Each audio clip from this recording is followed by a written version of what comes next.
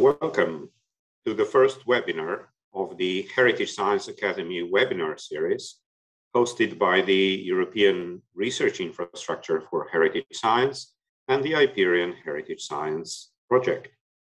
It is, uh, I'm particularly delighted to be uh, welcoming a good colleague of mine uh, who will talk about laser techniques in conservation and heritage science, uh, Marta Castillejo Striano. She obtained her PhD in physics in 1984 at Complutense University of Madrid and worked first in Japan and in the UK as a postdoctoral fellow. In 1987, she became member of staff at, uh, the, in, at the Institute for uh, Chemical Physics, CSIC, where she was promoted to senior research scientist in 2004. She is the founder and head of the group Lasers, Nanostructures, and Materials Processing. And she has many scientific interests from laser processing and fabrication of nanomaterials application of laser-based processing and fabrication in nanoscience and biomedicine, study of matter in ultra-intense laser fields, and the development and application of laser-based techniques in heritage science, a topic that she will focus on today. Marta has authored uh, about 200 refereed publications in many different uh, journals, and she has acted as editor of many volumes of proceedings and is an active member of the permanent scientific committee of the international conference series Lacona, Lasers in the Conservation of Artworks, but also other conference series. She supervised many PhD theses in her field of research and is extremely active in the IPERION HS and heritage science community. Uh, Marta, without further ado, over to you. Uh, you need to turn on the mic, Marta. Yes, thank you so much, Matija, for this nice introduction. I'm going to share my screen.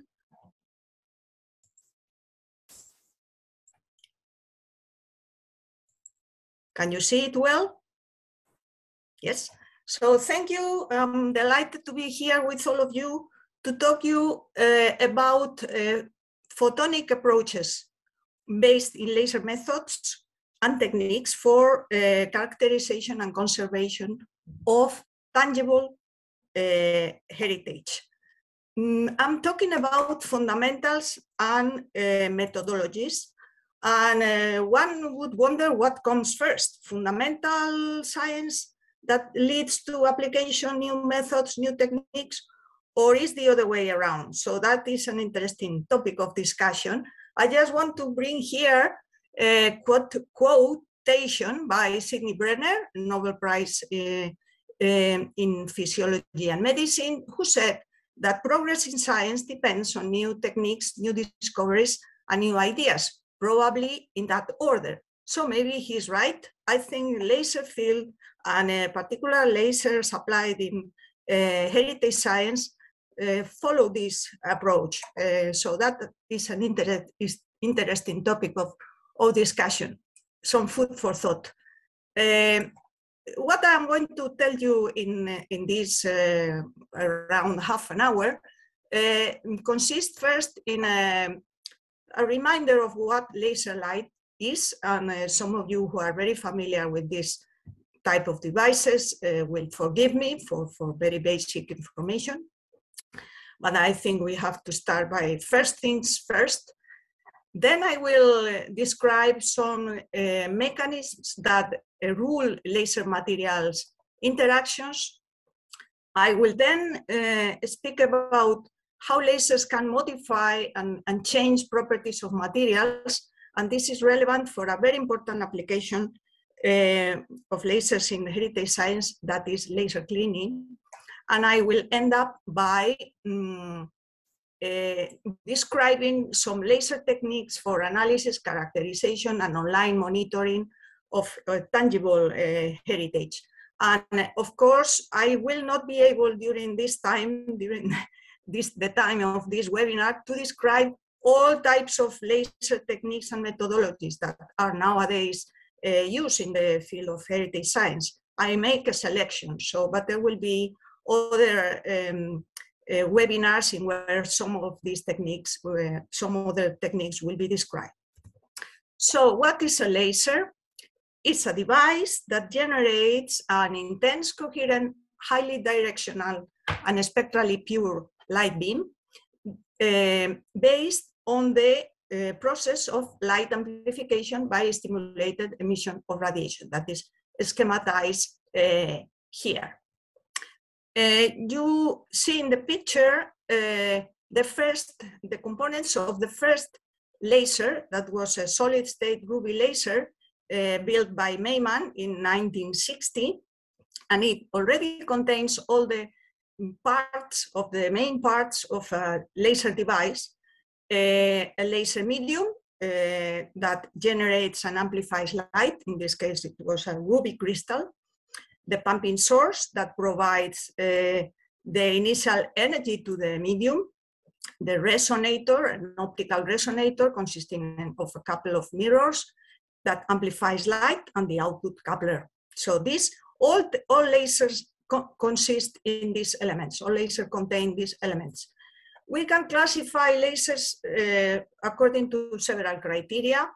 For instance, what is the color of the light they emit, whether the pulses are short, long, or we have a continuous uh, wave laser, the, according to the power of the emission, or uh, as in the pictures here, according to the size. Laser diodes, tiny laser diodes, or in the other extreme, the big infrastructures, big installations like the extreme light infrastructure. What are the main properties of laser light? Uh, one more, one that is very important is coherence and directionality. So um, in conventional light, uh, the electromagnetic light waves are out of, out of phase and this gives uh, rise to incoherent light that is emitted in all directions. Uh, in, in, contraposition, uh, in laser light, electromagnetic waves are in phase, and this um, produces coherent, collimated, and highly directional uh, light beams that are characteristics, uh, characteristic of laser, laser devices. Another uh, important property of laser light is the wavelength, uh, the color of the emission, and lasers can generate very pure uh, colors of light. Uh, you see here the electromagnetic spectrum from the ultraviolet to the infrared, where I have marked some of the most common laser systems that are used in the context of heritage science. The erbium YAG laser, the neodymium YAG laser that operate in the infrared. I have marked here the different harmonics of the neodymium YAG laser that cover several wavelengths in the UV, excimer lasers in the UV as well, and the titanium sapphire infrared laser that is uh, used as an ultra short uh, pulse delivery source. Talking about ultra short, uh, we have to consider also the duration in pulse laser, the duration of the laser pulses. In the context of heritage science studies, apart from continuous wave lasers, we use lasers with pulses covering the, from the microsecond to the femtosecond regimes. But think that nowadays uh, scientists, scientists are able to generate attosecond uh, pulse lasers, which is an amazing short amazingly short uh, pulses of light. We have to consider um, that pulse laser consists of a train of pulses uh, and uh, we have to consider the repetition rate and uh, we have also to think that uh, uh, to consider the, the peak power um, of, the, of these laser pulses and average power. These are important parameters for whatever concerns interaction with materials. We can have a laser with high peak power, pulse energy divided by pulse duration, but according to the repetition rate, the average power can be much lower. So this is important in order to see how the laser light affects the, the material.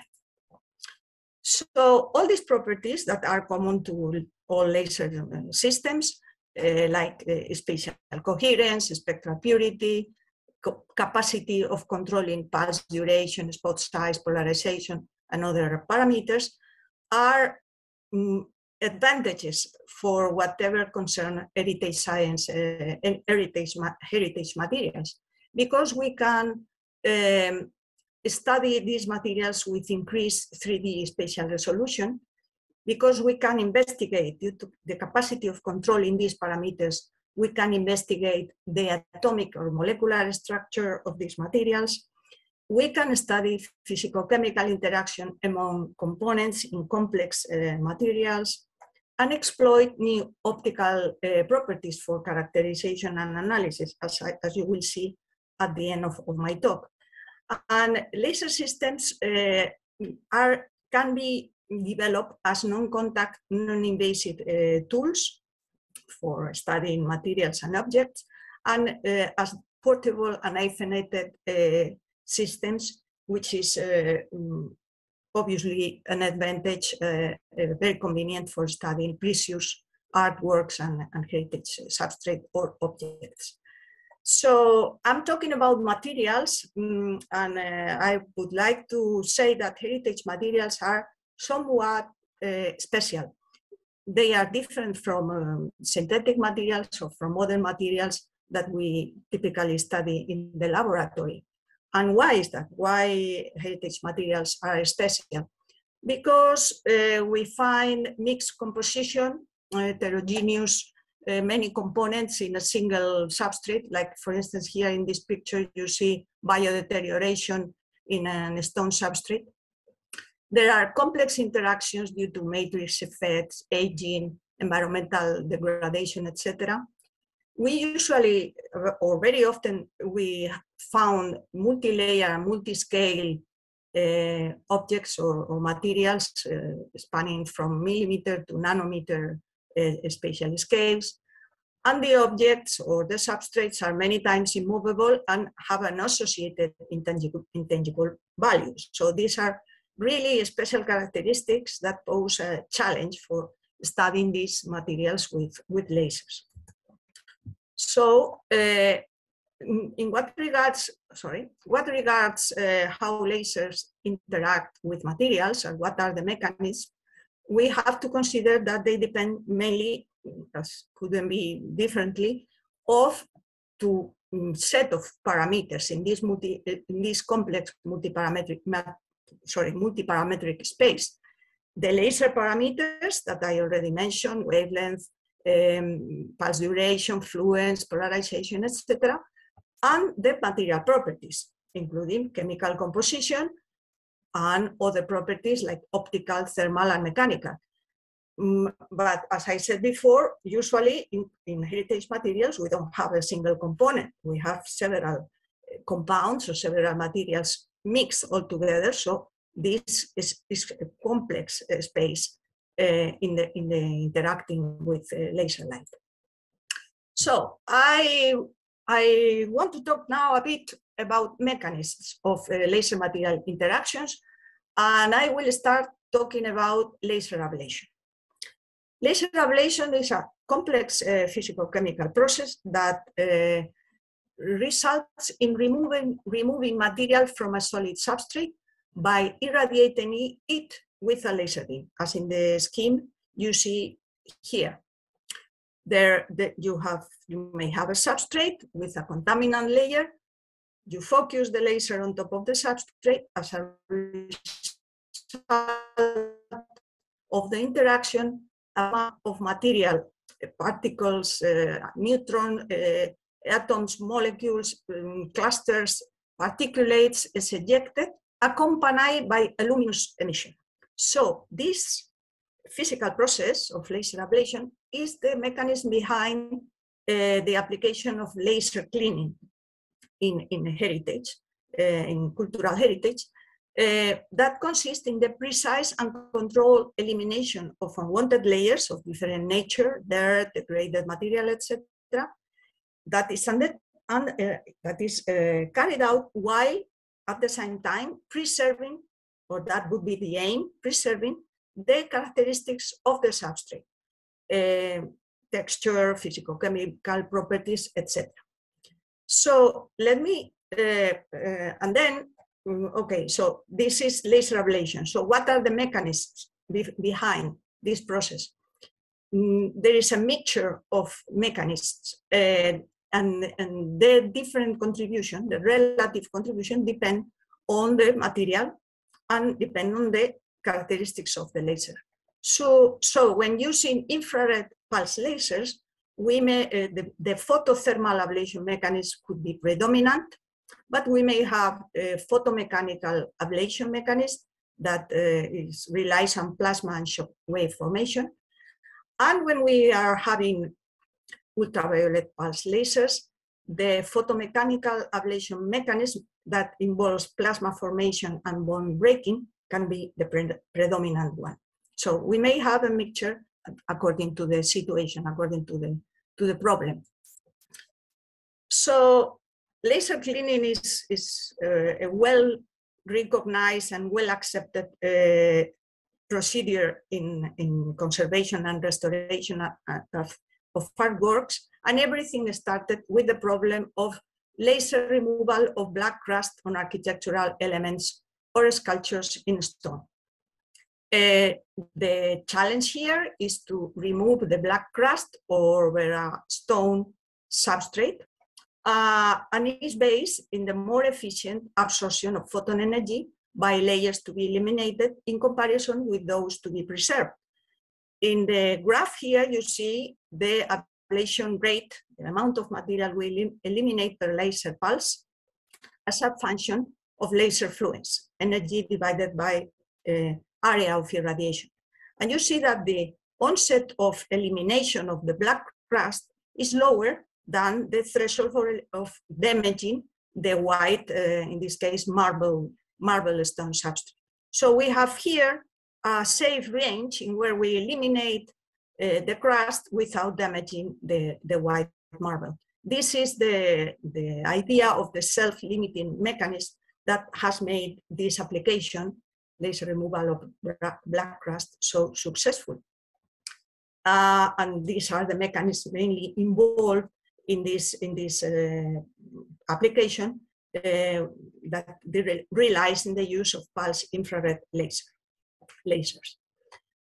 Uh, there are examples in, in important um, restoration and conservation campaigns of important monument, monuments. I bring here a restoration campaign of uh, in a portal of the of the Cathedral of Seville, where terracotta sculpture were cleaned with infrared laser, and the well-known approach by our Greek colleagues at Forth uh, in Greece uh, in that that is based in the development of an infrared dual uh, wavelength blending approach for laser cleaning of, uh, of marble that uh, was applied for the cleaning of the Parthenon friezes or the caryatids in, in Parthenon. And they use this wavelength, uh, double wavelength approach to compensate the yellowing associated with the removal of black crusts. Other examples, uh, we have in Spain a lot of poly, polychrome uh, substrates uh, that have been cleaned, uh, that have been mm, restored using infrared lasers. In the example here of poly, polychrome uh, sculptures with brocades in relief.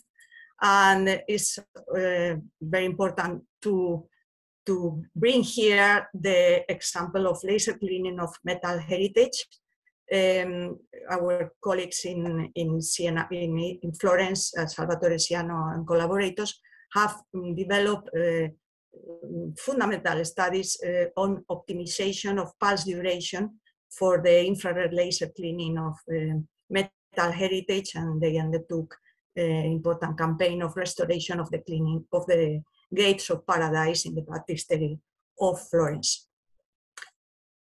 Mm, uh, I have spoken about laser cleaning using infrared lasers, but there is another set of uh, problems that can be uh, faced by using ultraviolet pulse lasers, and these concern the um, cleaning of, of varnish layers uh, in, on paintings or thinning down the graded or polymerized, polymerized varnish, layer, varnish layers by pulse UV lasers. The idea here is to remove part of this degraded varnish, identify the safe conditions for varnish removal without modifying the underlying paint, the sensitive underlying paint underneath, uh, avoiding any type of photochemical activity or temperature increase, melting, etc. Here, I show you an example uh, of some study that we undertook on shellac uh, uh, varnish temperas. You see here the absorption spectrum of shellac uh, in front of two wavelengths in the UV. Uh, one is uh, poorly absorbed by the, by the shellac varnish and the other one is strongly absorbed. So in the pictures here you see these these samples irradiated at this with laser at these two wavelengths. The upper part of, on top of the discontinuous line is the irradiated area, and the lower part is the non-irradiated area of the varnish. And you see that the longer wavelength, where which is poorly absorbed by the by the varnish, uh, produces some changes in the in the texture, bubble formation in the in the varnish. Whereas the wavelength, the, the, the pulse laser that which wavelength is strongly coupled with the, with the varnish generates a very, very pleasant, very adequate uh, thinning down of the varnish without, without changing its texture or its morphology. So that shows the crucial role of optical absorption. There are a lot of model studies, uh, studies on real samples a lot of activity uh, to understand and to identify the, the best conditions uh, in where pulse, UV pulse lasers can be used for this application, for removing degraded polymerized varnish on, on paintings. So um, laser cleaning based on laser ablation, but laser ablation is also the process and the mechanism behind a technique uh, well known to many of you uh, for that is used for characterization and analysis of uh, tangible heritage. It's a laser spectroscopy that is known like laser-induced breakdown spectroscopy that relies on the spectroscopic analysis of the luminous ablation plasma. You remember that I told you that when you ablate material from a substrate, a, uh, luminous plasma is, is generated. So by spectroscopic analysis of this luminous plasma, we can uh, identify the atomic elemental composition of the, of the material we are removing. This technique uh, gives immediate response, has a stratigraphic capability because we can apply successive pulses over the same point of the sample, so we get uh, information about the different layers.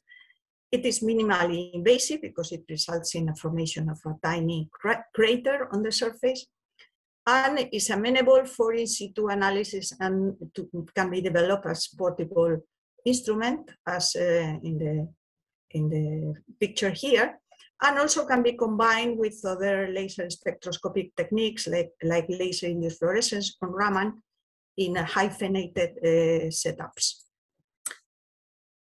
I want to show you an example of the type of uh, spectra and the type of results that we can obtain using this technique. This is a study we undertook in a nice, a very nice object uh, from the Al-Andalus period. Uh, it's a, a, bottle, metallic bottle, now in the Teruel Museum. And we, before restoration, we, we worked on the characterization of, of the materials of the bottle and you can see here a couple of uh, LIBS spectra uh, acquired in different points of the object, uh, revealing the composition that is silver and gold. And uh, in, in, in the soldering part between the two halves of the bottle, we see tin so as, as material used for the soldering the two, the two halves of the, of the bottle. So as I said, uh, um, provides also capacity for stratigraphic analysis, as in the example here of a polychrome uh, uh, piece, in an altar piece in a church in, in Zaragoza. You see the spectra after one, two, and three laser pulses. You see how the spectra changes, revealing different layers of paints in the polychrome.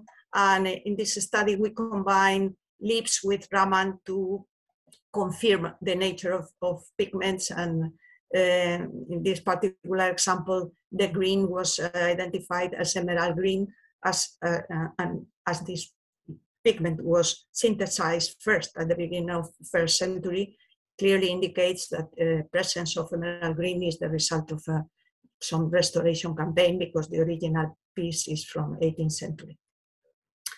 So enough about laser ablation. I want to talk about other properties, other types of uh, laser materials interactions.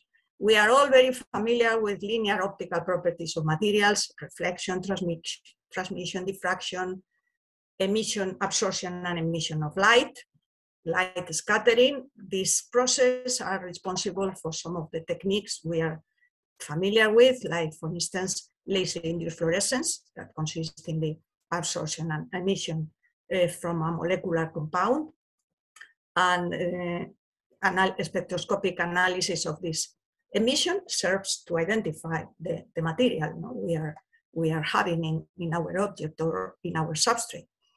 Uh, again, uh, here, as I said, in, uh, LIF informs about the molecular composition differently from LIBS that tell us about elemental composition. It shares a lot of properties with LIBS, but in this case is totally non-invasive uh, uh, technique. And um, you see here uh, a laboratory setup that combines a hybrid LIBS Raman uh, this is a laboratory system, but there are efforts by, by some of the members of our consortium to develop a portable uh, hybrid leaf, LIBS Raman setup. So stay tuned because the, this will be opening a lot of possibilities for studying uh, materials and objects. I want to show you an example of how we applied laser-induced fluorescence for studying, for characterizing um, grisailles in historical glasses. Uh, eyes are blackish brown vitreous paints uh, used for decoration and symbolic representation since medieval times. And uh, production involves uh, grounding uh, different metallic oxides with uh, flux of lead ground glass. So we, we had a very nice collection of uh, samples from historical glasses of, of, different chronologies and provenances, and we collected uh, laser-induced fluorescence spectrum spectra that allowed us to uh, identify the contribution of different emissions due to the glass flux and to different metallic oxides that were used for, for making this, these grisailles and with different contributions of these uh, components for each of the, of the samples that we studied. So I think that was quite nice uh, example, is a quite nice example of the application of laser-induced fluorescence that has been applied to many other types of substrate pigments, uh, many other components. So linear properties, but uh, there are also other type of properties that are called nonlinear optical properties.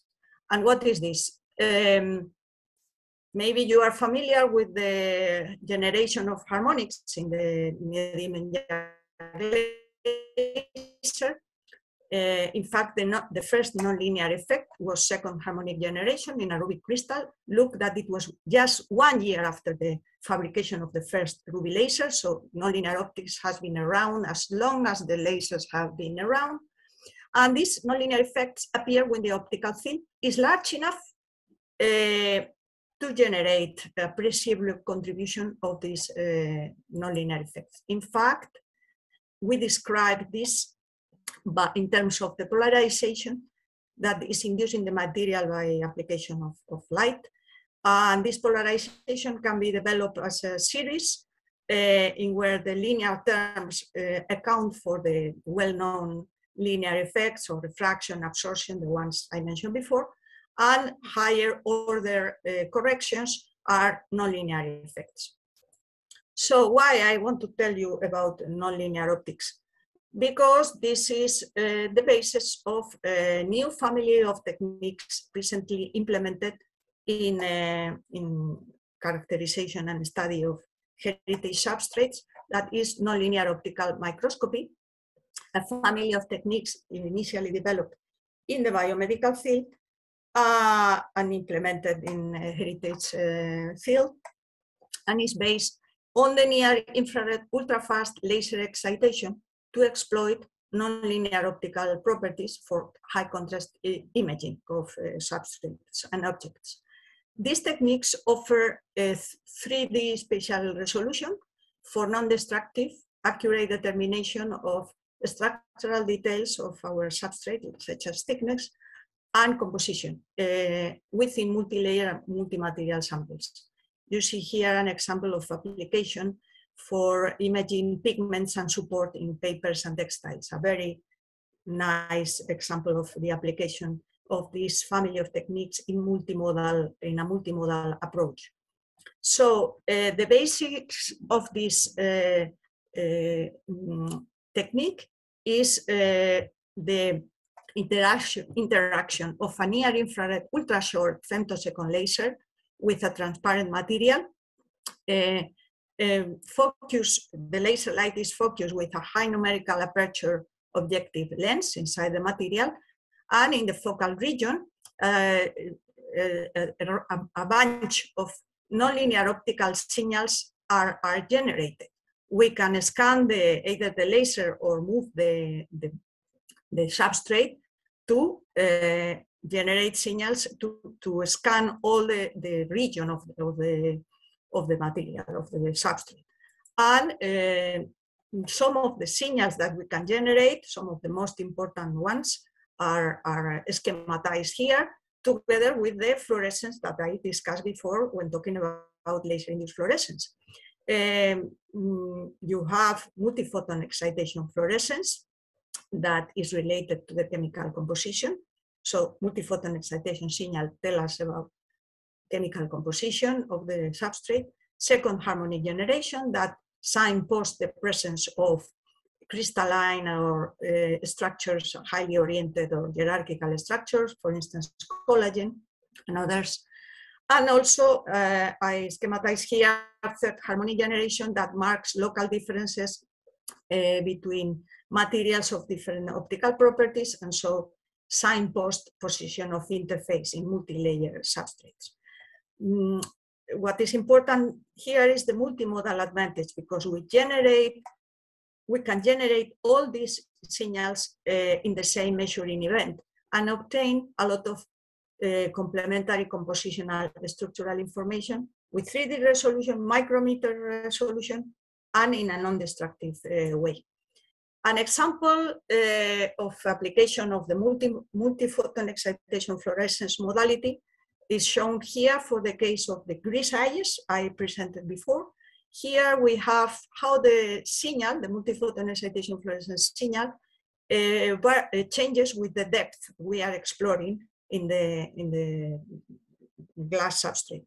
And this uh, analysis of this depth profile allows us to determine the thickness of the grisaille paints uh, that we compare with uh, measurements taken by scanning electron mm, uh, microscopy. You see that the agreement is good with the fantastic advantage of this technique that is non-destructive, whereas in the case of scanning electron microscopy, we have to take samples and prepare cross-sections. So that is an example of uh, the convenience of using or the capabilities of, of, of using these techniques. Uh, nonlinear optical microscopy has been used um, uh, for studying many types of uh, heritage substrate, varnish and paint layers, corrosion layers of metallic artifacts, parchment, and even historical uh, real, real objects. And there are a lot of applications uh, in where different modalities of nonlinear microscopy and in combination with other more conventional techniques have been undertaken um, to study mm, a, a, wide range of uh, substrates and, and materials. So I think that is enough up to now, and I would like to conclude um, by saying that application of fundamental knowledge of materials or material uh, laser materials interaction and spectroscopy uh, has allowed to develop and apply um, different kinds of approaches, advanced methodologies for laser cleaning that offer control action of removal and absence of damage to the underlying substrate. In the case of laser uh, cleaning of, of degraded varnish, optical absorption is key parameter, is a key parameter.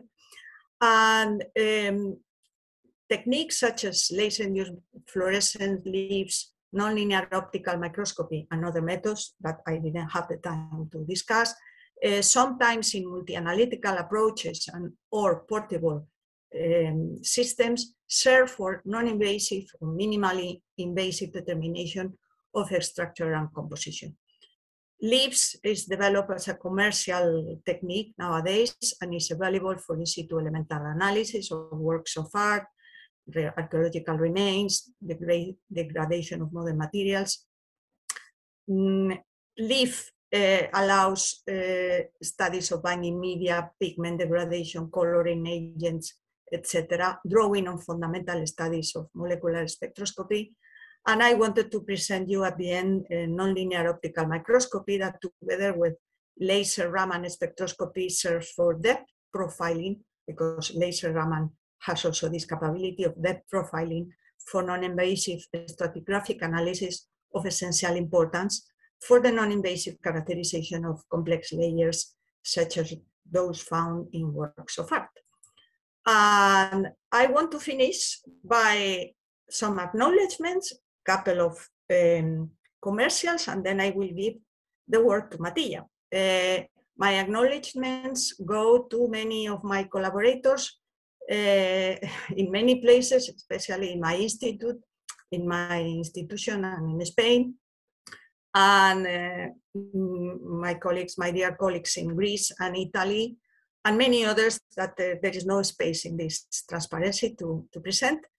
Uh, the commercials go to, because some of the techniques I presented here are available in, uh, in the catalog of service of IPERION HS. So you have the transnational access possibilities to three platforms. And there are periodic calls, and the next one will, uh, the deadline is uh, 30th April, April, so I I encourage you to browse the catalog and apply for, for time. And, and, and then, sorry, and then Matija, the word is for you. Thank you so much. Thank you so much, Marta. This was such an enjoyable talk and evidently a talk that was appreciated by many because I think that we've had consistently about 220 participants, which is an amazing number.